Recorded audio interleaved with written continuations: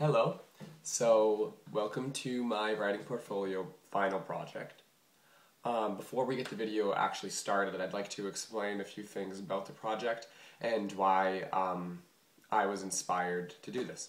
So basically the project is um, four short poems about the elements and to go with those poems, um, four inspired pictures.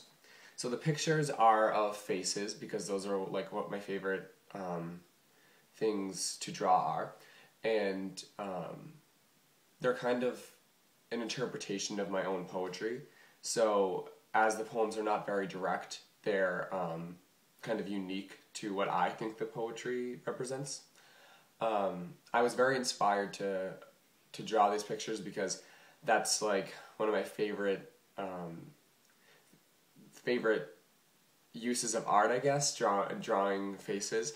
And um, the makeup and the faces are all, um, I think, very true to the poems. And I, I wanted to, to show that. And I also wanted to show the process. So as you'll see in the video, each, um, each piece of poetry shows the process of me drawing the picture. So I hope you enjoy the project and I hope you can form your own interpretations on the poems. Thank you. Deep, crisp wisps of anger and deceit, engulfing any pleasant memory left. Parades of deep red and burnt orange smile menacingly, leaving billows of smoke to fog good deeds. What is fire?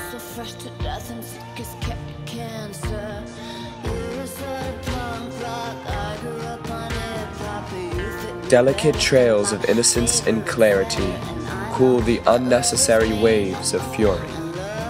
Turquoise tears of forgiven sorrow heal the wounds of manic treasures. What is water?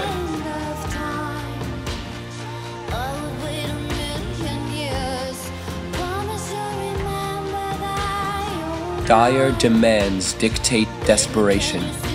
No number of breaths in will allow a breath out. The invisibility surrounds you, but won't supply a cure. What is air?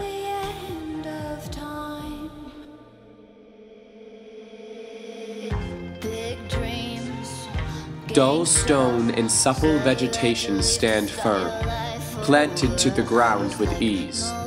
Each tree a separate entity of nurture, forming together as one to keep us alive. What is Earth?